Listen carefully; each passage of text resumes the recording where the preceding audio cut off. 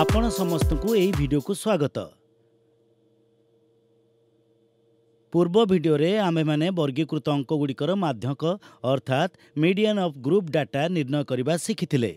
ଆଜି ଆମେ ଏହା ଉପରେ ଆଧାରିତ କିଛି ଉତ୍ସାହଜନକ ଉଦାହରଣ ଦେଖିବା। ନିମ୍ନଲିଖିତ ବାରମ୍ବାରତା ବଣ୍ଟନ ଗୋଟିଏ ଶ୍ରେଣୀର ଶହେ ଛାତ୍ରଛାତ୍ରୀଙ୍କର ପକେଟ୍ ଖର୍ଚ୍ଚକୁ ଦର୍ଶାଉଛି। ଯଦି ଛାତ୍ରଛାତ୍ରୀଙ୍କର ପକେଟ୍ ଖର୍ଚ୍ଚର ମାଧ୍ୟକ ବାଷଠି ଟଙ୍କା ତେବେ ତୁମେ ଏକ୍ସ ଏବଂ ୱାଇ ଛାତ୍ରଛାତ୍ରୀଙ୍କର ସଂଖ୍ୟା ନିର୍ଣ୍ଣୟ କରିପାରିବ କି? ଚାଲ ଏହାକୁ ସମାଧାନ କରିବା ପାଇଁ ଚେଷ୍ଟା କରିବା। ଯେହେତୁ ଆମେ ଜାଣିଛେ ଯେ ମାଧ୍ୟକ ସେତିକିବେଳେ ନିର୍ଣ୍ଣୟ କରିପାରିବା ଯେତେବେଳେ ଆମକୁ ବଣ୍ଟନ ସାରଣୀର ସଞ୍ଚୟୀ ବାରମ୍ବାରତା ଦିଆଯାଇଥିବ। ତେବେ ଚାଲ ଏହି ବଣ୍ଟନ ସାରଣୀ ପାଇଁ ସଞ୍ଚୟୀ ବାରମ୍ବାରତା ନିର୍ମାଣ କରିବା। ଯାହାକୁ ତୃତୀୟ ସ୍ତମ୍ଭରେ ଦର୍ଶାଇବା। ଦିଆଯାଇଛି ଯେ ଛାତ୍ରଛାତ୍ରୀଙ୍କର ମୋଟ ସଂଖ୍ୟା ଶହେ ରହିଛି ତେଣୁ ସଞ୍ଚୟୀ ବାରମ୍ବାରତାର ଶେଷ ଧାଡ଼ି ସତୁରି ଯୁକ୍ତ ଏକ୍ସ ଯୁକ୍ତ ୱାଇର ମୂଲ୍ୟ ମୋଟ ଛାତ୍ରଛାତ୍ରୀଙ୍କର ସଂଖ୍ୟା ସହିତ ସମାନ ହେବ ଯାହାକୁ ଆମେ ସମୀକରଣ ଏକ ଭାବରେ ଦର୍ଶାଇଥାଉ। ଯଦି ମାଧ୍ୟକ ବିଷୟରେ ଦେଖିବା ତେବେ ମାଧ୍ୟକ ସୂତ୍ରରୁ ଆମେ ଦେଖିପାରିବା ଯେ ଆମ ପାଇଁ ଏଲ୍ ଅର୍ଥାତ୍ ମାଧ୍ୟକ ବର୍ଗର ନିମ୍ନ ସୀମା ଏନ୍ ଛାତ୍ରଛାତ୍ରୀଙ୍କର ମୋଟ ସଂଖ୍ୟା ସି ଏଫ୍ ଅର୍ଥାତ୍ ମାଧ୍ୟକ ବର୍ଗର ଠିକ୍ ପୂର୍ବବର୍ତ୍ତୀ ବର୍ଗର ସଞ୍ଚୟୀ ବାରମ୍ବାରତା ଏଫ୍ ଅର୍ଥାତ୍ ମାଧ୍ୟକ ବର୍ଗର ବାରମ୍ବାରତା ତଥା ଏଚ୍ ଅର୍ଥାତ୍ ବର୍ଗ ମାପର ଆବଶ୍ୟକତା ହେବ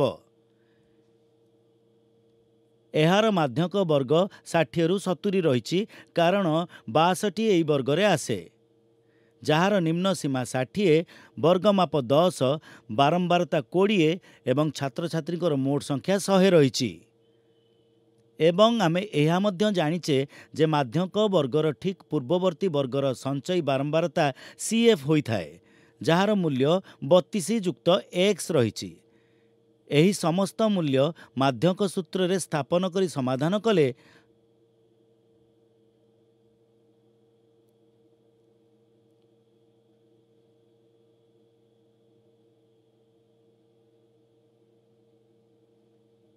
ଆମକୁ ଏକ୍ସର ମୂଲ୍ୟ ଚଉଦ ପ୍ରାପ୍ତ ହୋଇଥାଏ।